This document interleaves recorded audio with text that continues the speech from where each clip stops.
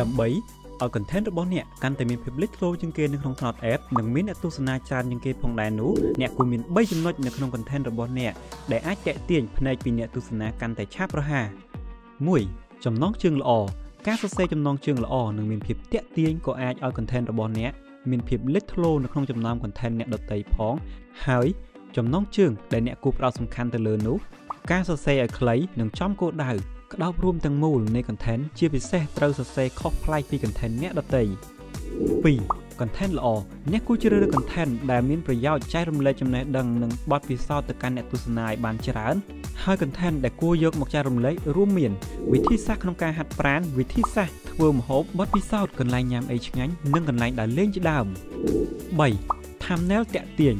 thumbnail ឬគម្រោងរូបភាពក៏អាចឲ្យ content របស់អ្នកទទួលបានការចាប់អារម្មណ៍ពីអ្នកមើលផងដែរពីព្រោះអ្នកទស្សនាចាប់អារម្មណ៍ទៅលើរូបភាពជាជាងអក្សរដូចនេះអ្នកគួរតែរៀបចំ thumbnail ឲ្យស្អាតមានពណ៌ស្រស់ឬ color ផងដែរហើយអ្នកក៏អាចស្វែងយល់បន្ថែមពីវិធីសាស្ត្រធ្វើ thumbnail ឲ្យបានល្អនៅក្នុង Knout ផងដែរ